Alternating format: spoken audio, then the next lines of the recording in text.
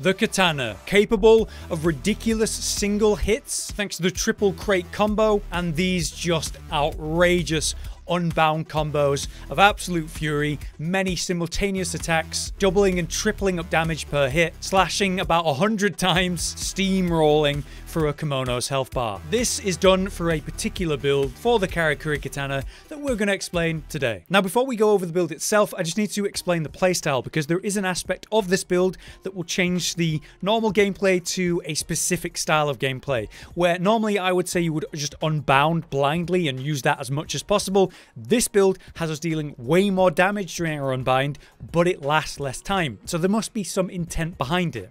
Now I'm going to assume you know the basics of Katana, but basically the idea is to do the light attack combo into a special, dealing these many twin blade slash storms, and then repeating that until you need to leave the area because the, the Kemono is going to hit you, or until you're basically out of stamina. This will generate a lot of damage, which is great, obviously, but then also hitting so many times like this, we're going to steadily build the gauge in a really efficient and effective way. Now that we have our gauge going, it's DPS time. The best burst that I'm able to get during one trap window is this. We unbind, then go straight into the heavy attack combo, which is the unbound EI slash. We let this ride all the way, doing ridiculous damage. Then press the special at the end to slide away, allowing us to reposition. The Kemono should be reeling by now, but getting up, allowing for the triple crate slam. There it is. Big damage. 5,201 single hit, and that's the full gauge basically used. This build is able to maximize your gauge for that full burst window I've just shown you. And we worked in a little bit to give that gauge a little bit more time to make that possible. So when you get your gauge going, it's time to place a trap. And what I mean by the trap is the double stake crate, double stake crate, Karakuri Fusion transformation. As you can see, I get my gauge going, I place the trap, I wait for the Kemono to walk into it, and then we go to town with that exact combo on the weakest point to get the most DPS. In this case, it's the head, but to be honest with you, with most Kemono, it's going to be the head. The thing is, you can check and find out what is actually the weak point by going to the Cyclopedia. If we go to Golden Tempest here and go to the second page, we can see that the head is a 5-star softness, even when it is enraged. So that is the ideal point for me to target. Most Kemono are going to be the weakest on their head, but some Kemono give you other options, like Deathstalker here, that is 5-star in normal and enraged on the tail. So that could be an alternative target should you want that. Knowing where to put your big damage combo is going to lead to a bigger damage combo. So the build then. These names are probably not going to mean much to you, but I'm at least putting it on screen so that you can see them. But let's take a direct look in the equip menu. Starting with the armor and why, we have the Garuda hat, the chest piece, and the gloves. Those are the Emberplume pieces. Emberplume is an incredible Kemono path focus set. This piece provides us with fatigue recovery, which is really important for the stamina recovery speed since we spend so much with the katana. Deaf Ears is a nice perk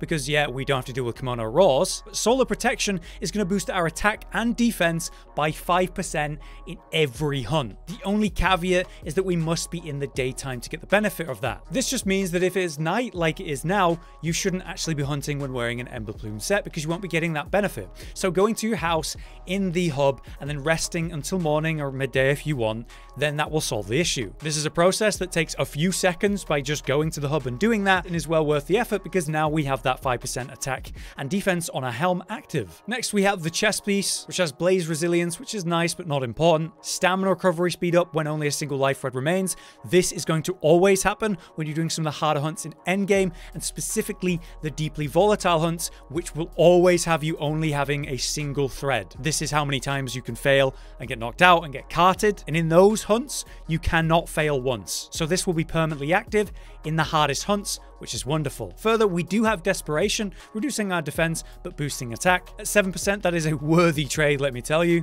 which we also have on the Emberplume gloves. Further, we also get Strong Arm Spirit, which means when we go for that Hunter's Arm to get our thread back, we're to have 5% extra chance on critical hits for quite a while. I'm always Hunter's Arming during a hunt once I need some more thread, and this gives me extra reason to do so. We also have Critical Draw, which means those draw attacks, say on the strong attacks, hey, an extra 5% critical critical hits there. Again, brilliant. Now we have the Draconic Body Armor for your legs. This is the final boss leg piece. This comes with Rude Health at 12%, meaning we're less likely to suffer an ailment, which is nice. But most importantly, it's a 10% battle spirit, meaning whenever a Kemono is enraged, which is about half of the hunt, you're dealing more damage. Lastly, the boots is kind of a personal choice. These are the Kingtusk boots, which provide me with just damage and a bit of health, which is great because it's just consistent. But you could also consider other options. The Emberplume boots are a good option, also with health boost, but this has self-control and strong arm spirit. Further crit and also more stamina recovery speed if you feel you need that in those harder hunts. Or the Cobalt Lavaback boots, which has the benefit of tangle recovery, but we have more importantly Grab Master and Resurrection. Resurrection being the most important skill here, it means when you take a killing blow, you just won't die, which is obviously quite good if you're dealing with some really hard hunts. This could help you, but I prefer the consistent damage increase of just having a bit more damage on Savage. Next, we have the interesting topic of the weapon and the weapon path you should take. As you can see, we are using the final boss weapon. And if I zoom out, this is the final boss weapon on the left side. You can either go to the right or the left. I follow this path through the one on the right all the way up from here. So it's quite the path, but honestly, there are worse paths that I've seen in different builds. As you go through though, these are the inherited skills you're going to want. Switchblade Boost Fury comes from the last one here anyway, but you're going to be looking for Manifestation Release, Stock Slash, Dual Master, and Desperation. The skill Manifestation Release is what's actually major here. It means our attack is way bigger, 64% on just the weapon alone. We have a talisman to help this further, but this is what's causing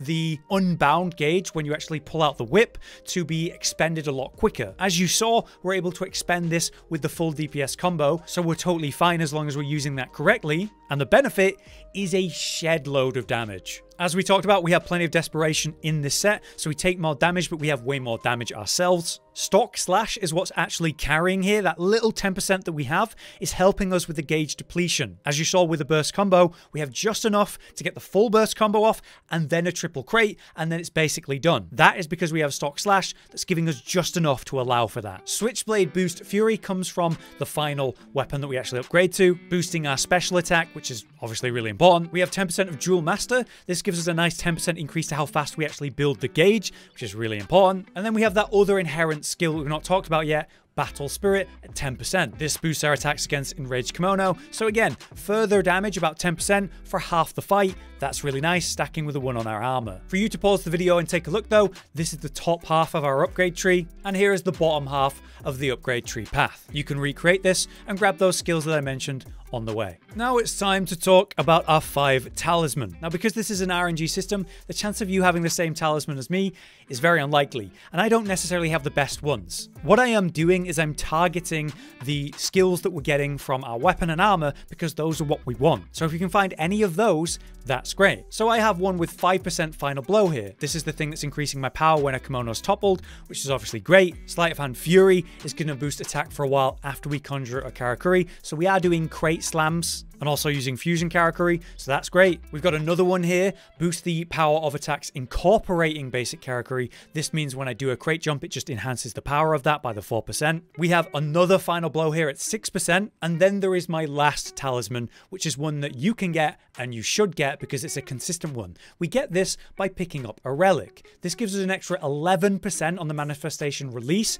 further powering our attack. Let me show you where to go pick up that relic, which you should absolutely do. To get yourself the talisman you're going to want for your katana then, we're going to need to come to the canyon. The canyon being the leftmost kind of autumn map. And we're going to want this building with this marker right here on the northern point of kind of the village area. If I zoom all the way out, you can see I'm right here near the center of the map, just a bit northeast. You'll find it on one of the layers of the building. It's kind of an awkward one. The sword is against the, the wall there. But as you can see, all I did was do a quick crate jump and then quickly stake my way over. And then I'm actually at the right level. It's basically the one above the highest point of this building. But anyway, let's pick it up. And there we go. Rover's Talisman, the Great Blade. Alright, now that we've discussed the build, here is the last aspect of a build you should consider, which is going to be your basic Karakuri and which fusions should you use.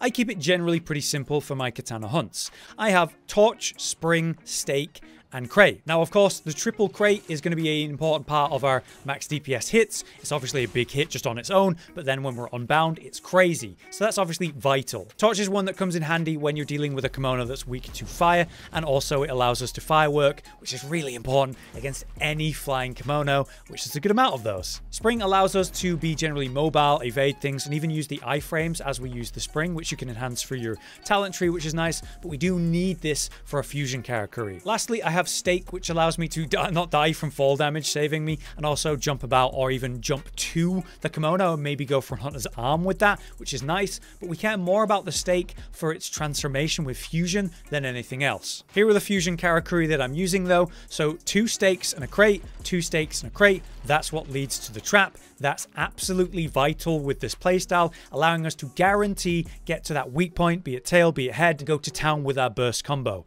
It lasts the right amount of time, so it's absolutely required to use that Fusion Karakuri. The other Fusion Karakuri I use the most is the Harpoon, which is two springs and a stake, and then two springs and a stake. This will auto lock onto the Kemono and blast it, dealing nice damage and also staggering it. This creates opportunities and windows for me to go to town on the Kemono, usually with that basic combo of the Twin Blade slash Slam maybe two, maybe even three times if I feel I can get away with it. And this helps me build my gauge in a safe and consistent way. Those are the two main fusion karakuri that I use my thread on, but there's utility in other things like the fireworks or like the bomb that we can use with this setup. But that's why I use what I use. But there you have it. That is our build and overview. For another final look, this is the gear that I'm wearing, and you can see all of the skills that I have with this set at the bottom right, the three tabs that I've just tabbed through. You can pause the screen if you need to. This brings us to the pure Kemono path though, using the armor that we have, which as you can see, the head and the chest piece are in Kemono path, pushing us to the final tier of pure Kemono path, just barely, to activate all those skills. This is vital for deaf ears, desperation, and solar protection. I hope this build video has been useful to you and you get good help from this. I hope this gives you the tools to enjoy Katana in the endgame though, and if this video has helped you, then please do drop a like. It helps us a lot with the algorithm, and we do put a lot of work into this type of stuff. For now though, I've been Hollow, you've been you, thank you for watching. We'll see you next time. Josh, Cotton, and Hollow with the videos, dropping the humor like a hammer on your tippy toes, bringing entertainment on a daily arrangement to take our insanity and turn it into entertainment. Yes, I said entertainment twice to reiterate that it is nice to look into your faces on a mostly daily basis when you let us in your homes to make the whole world a stage. Is uh goodbye.